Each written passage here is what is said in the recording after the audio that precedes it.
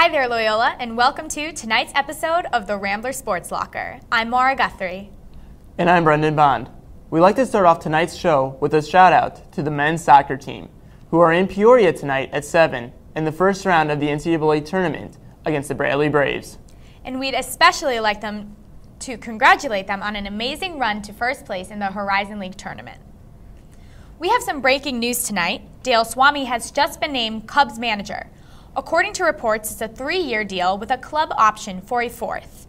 The Cubs will introduce Sveum at a press conference 9 o'clock Friday morning. The basketball season is underway. The men are 0 3 after a 65 61 loss at Eastern Illinois Wednesday night. The women take their 2 0 record to Southern Illinois tonight at 7. This is their first 2 0 start since 2001. Maybe the lack of NBA play will help out the crowds at Gentile this, uh, this I wasn't going to go there, Brendan, but hey, maybe that's one positive. Let's hand it off to Mary Sugden, who is in the studio with Ben Averkamp, junior forward for the Rambler men's basketball team. Thanks, Maura. I'm now joined on set by junior forward for the men's basketball team and co-captain, Ben Averkamp. Ben, thanks for being here. Thank you for having me. Now, as I understand it, you're not only talented on the court, but you're also very talented in the classroom. You were valedictorian of your high school, and here at Loyola, you're a bio major. Yep. So what is it like balancing all of that coursework with being a college athlete? Well, it's a lot. Uh, every day, it, it, you know, you got to find time just to fit in your studies. You know, days go from 8 a.m. to 7 p.m. So at, at night, I try to find a little time. You know, a couple hours every night, get something done, be productive. But then, uh, you know, ultimately, I just just got to get things done. You know, on the weekends, on the road, it is a balancing act for me for sure. Definitely, that's very impressive. And there have been a lot of changes to the athletic department over the last year, and most notably for your team has been head coach Porter Moser being brought in. Yeah. What kind of presence has he had within your program so far? What has he really brought to the table for you guys? I think he's brought a lot of energy, uh, enthusiasm, and definitely a mindset and a culture of, of wanting to change and, and, really make Loyola a winning basketball program. You know, we had it in the in the 60s and in the 80s too, and, and he really wants to restore that and make Loyola respected again in basketball. And along with all the changes now, there's the new facilities with Norville and Gentile. What do you think it's going to be like playing in this brand new gym? Do you think it's going to bring any kind of changes to your season this year? I, I think it's ex it's exciting. I mean, it's uh, been in there now a couple times, and it really feels now like uh, it could have a college atmosphere. Before Gentile was kind of, you know, like a glorified high school gym, but now it really, I feel like will give us a huge home court advantage, and it'll also, you know, draw interest for our students in wanting to go to games hopefully pump up the student section, get you guys a little bit more cheering. Exactly. I mean, it would be great to have a Butler home atmosphere for every game. I mean, we get you know such a great turnout for those games. It would be great to have that on a you know on other Thursday night games. On the regular games, definitely. So this is your third year now with the Ramblers. How do you think this team stacks up against the last two teams you've played with? It's it's a lot different. I mean, part of it's just being older and having a different perspective on it, but. Um, you know, we're young this year and, and we're not as deep. So it'll, you know, a lot of guys are going to have to learn fast. I mean, outside of Walton, myself, and, and even John Minkowski a little bit, a lot of these guys have not logged significant college minutes. So for us, I mean, the learning curve is, is pretty great, but hopefully then by the end of the year we'll be playing really well together. Definitely. How then do you think your team stacks up against the rest of the Horizon League so far?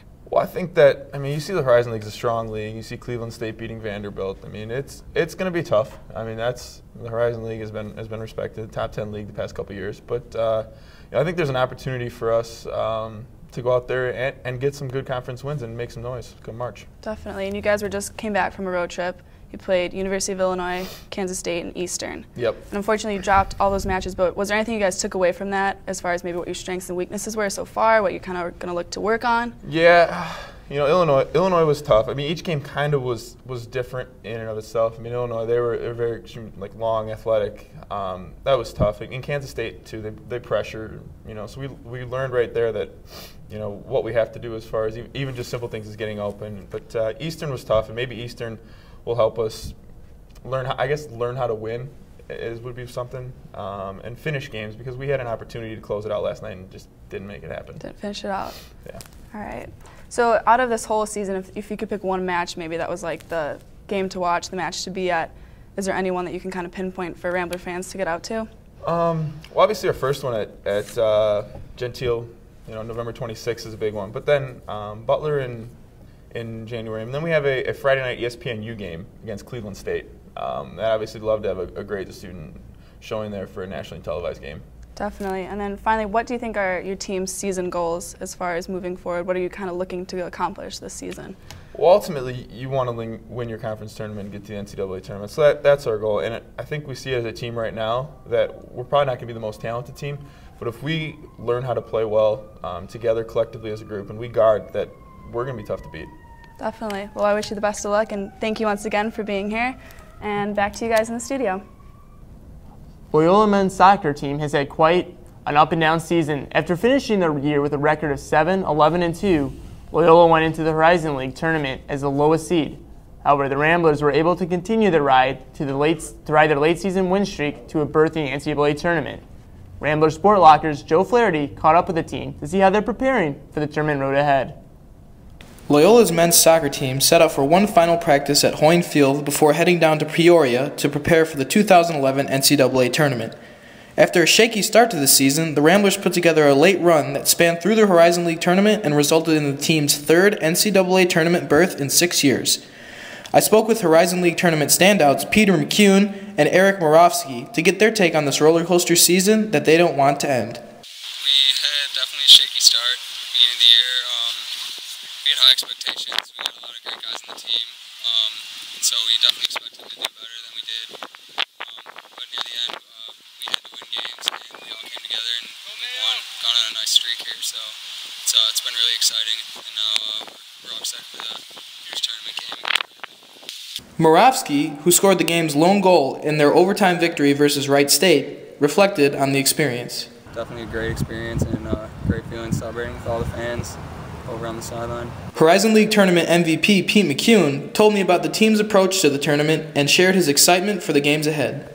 Uh, it was exactly like the last five games. We were just taking it one moment at a time. Every every minute that ticked by, we wanted to be in it and uh, not take anything for for granted. We want to have the game end and, and have it be over without us having gotten hold of what it meant. So uh, just took every moment like that, um, and I think uh, it really helped with the focus throughout all the games, and we got the results. Uh, well, we're excited. We were, we know that whatever team we got uh, drawn against, we were going to give them a good run, uh, and we're very confident in how we're playing right now.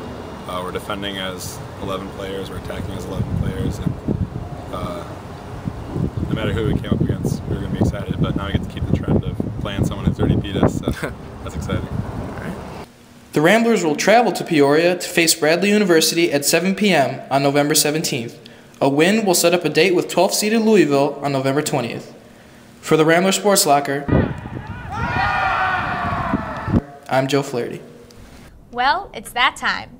Let's check in over at the roundtable to see who they think will be the most successful Rambler team of the year.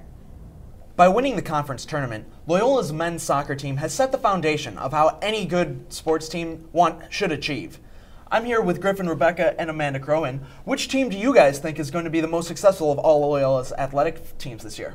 Well, first off, Nick, I really want to congratulate the Loyola men's soccer team. Uh, what a tremendous mm-hmm. job they did. Um, I mean, I'm really excited to hear about the results for tonight's game. But on this note, uh, the most successful team in my eyes is it's going to be the Loyola men's bas- or excuse me, Loyola men's volleyball team. Um, they're, they're, last year they went to the finals, MIVA conference finals, um, played a tremendous Ohio State team, lost just by two games, at, and this year they're, they're bringing back all four starters, and they're coming back with guys, uh, a freshman by the name of Cody Caldwell. He's a six-six outside hitter. He's going to be tremendous. He was a high school All American uh, I'm really looking forward to the season. Yeah, as I agree with you, Griff, the men's volleyball team is amazing. I, I have to go with the women's softball team. They're led by Missy Baceres. I mean, in her first season as um, the softball head coach, she had a, a, rec- a season record of 28 wins. Um, she was Horizon League Coach of the Year, um, the first coach to get that. Um, and then led by pitchers uh, Brittany Gardner, I mean, she's good. She, yeah, she's, a, she's amazing, and 31 consecutive scoreless innings, and she was only a freshman. She's incredible, and um, looking forward to see what they can do um, this spring. See, I also agree with you. Softball and even volleyball are going to have a good team, but you can't take away from what Loyola's men's soccer team has done this year. They have the results. They've gotten to the conference championship. They beat a very tough Valpo team. They beat Wright State. They have they've gotten the results. They've made it to the NCAA tournament. Well, I agree with you, Nick. I mean, I gotta tell you, them getting to the national championship, just not quite as high as I think the Loyola men's volleyball team will go. They're gonna. They have a team that last year they could have won it. This year they have new guys that'll step in. A healthy Mike Bunting. They're gonna get get going this year. the, my my thoughts on that are like while Loyola did have the team last year, they didn't get there. Loyola got to the finals and won Oh, for soccer this Oh- year. Ohio Yeah, State but- is not bringing back all four of their starters. They're bringing back one. That's our team to beat in the Loyola men's volleyball team. And now, with the four returning starters, I think they could do it. Yeah, but you guys, you you're talking about you know men's soccer. They finally made it, but their their record is under 500. And men's volleyball, yeah, they're an incredible team, but they blew it against Ohio State. Women's softball has proven that they are a successful team. Did they make it as far as they could last spring? No, but this year it's going to be completely different. Missy Baceres is in her second season as head coach, and uh, Brittany Gardner, Kelly Enkelkins, they're they're in their second years. I mean, they're going to be incredible.